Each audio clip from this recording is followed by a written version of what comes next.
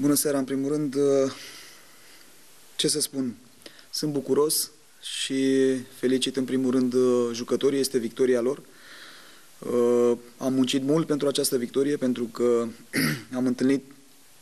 la momentul ăsta, cred că cea mai bună echipa campionatului, echipa de pe primul loc, cu șapte victorii consecutive, dar am venit cu încredere, am venit cu speranță, am muncit în, în aceste zile mult din punct de vedere tactic pentru acest meci și mă bucur că jucătorii au respectat tot ceea ce am lucrat și că au pus în practică, chiar dacă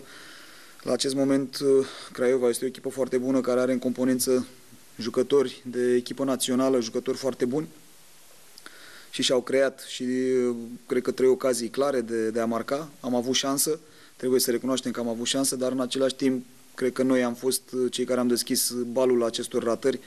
în minutul 1 sau minutul 2, prin, printr-un copil de, de 16 ani, chiar și Cordea, prin doi juniori am avut o ocazie foarte mare pe început de meci, după care jocul a început să fie puțin pe contre, ușor, ușor ne-am creat ocazii și noi și ei. Uh,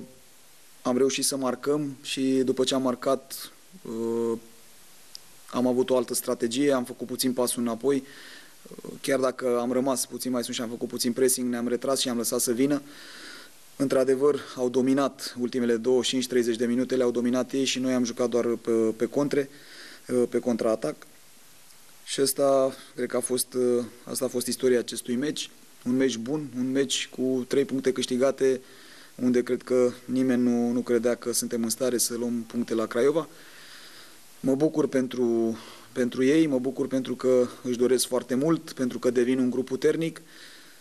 că se vede că sunt uniți, își doresc să facă performanță și pentru noi sunt trei puncte foarte mari, mai ales pentru moralul și pentru continuitate în tot ceea ce avem de făcut. Felicitări și sper să o ținem, să o ținem la fel. Felicitări Craiovei pentru că uh, și domnului Bergodi pentru că practică un fotbal foarte bun, un fotbal spectaculos Poate noi nu ne-am ridicat atât de mult la, la nivelul lor, dar uh, noi uh, suntem la început, încă sunt, nu suntem omogeni, încă nu avem, uh, nu ne cunoaștem foarte bine între noi și traseele pe care le lucrăm la, la antrenament încă nu, nu sunt sincronizate foarte, foarte bine, dar astăzi zic eu că am făcut un pas, un pas, mai, un pas mare în ceea ce ne dorim noi să, să facem.